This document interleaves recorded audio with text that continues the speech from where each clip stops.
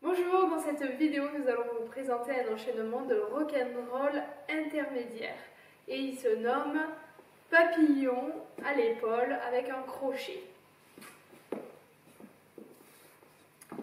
Alors, au départ, on récupère l'épaule de la cavalière, on la fait tourner, on l'amène dans le dos et une rotation. Donc, ce mouvement, au départ normal, ici, j'amène une traversée en amenant le bras gauche vers ma hanche pour lui demander une traversée et me dégager le bras parce que si je lève le bras ici, je vais être gêné pour l'attraper. Et je vais la faire tourner en sens inverse. Dans le cas présent, je veux qu'elle reste face à moi, qu'elle vienne vers moi, ici. Je suis orienté vers la cavalière, je récupère l'épaule, je lâche la main gauche, je récupère l'épaule et je la fais tourner sur 5 et 6. Je reste très proche, ici, de son dos. Je vais récupérer le haut du bras, ici. Je fais un crochet avec la main, c'est-à-dire je plie vraiment la main. Je ne vais pas pincer avec les doigts parce que là c'est très désagréable.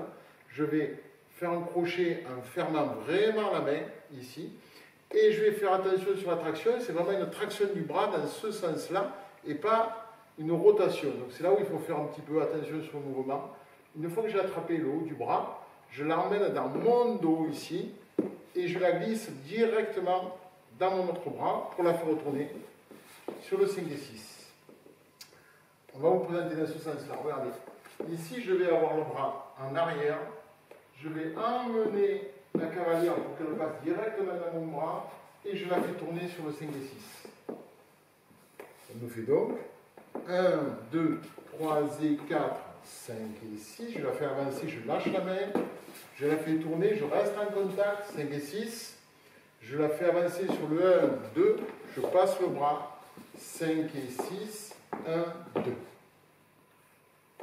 Pour les cavalières, très important, on fait attention à ses bras. Donc là, on suit notre bras droit. Pourquoi on le suit? Parce que si vous ne le suivez pas, vous allez finir droite comme ça. Alors, soit vous finissez en étranglement, soit vous gênez le cavalier et il ne va pas vous attraper et du coup, impossible de faire le mouvement. Donc, on suit son bras droit, on tourne vers la droite et après, il va nous tirer sur l'épaule gauche pour nous faire tourner.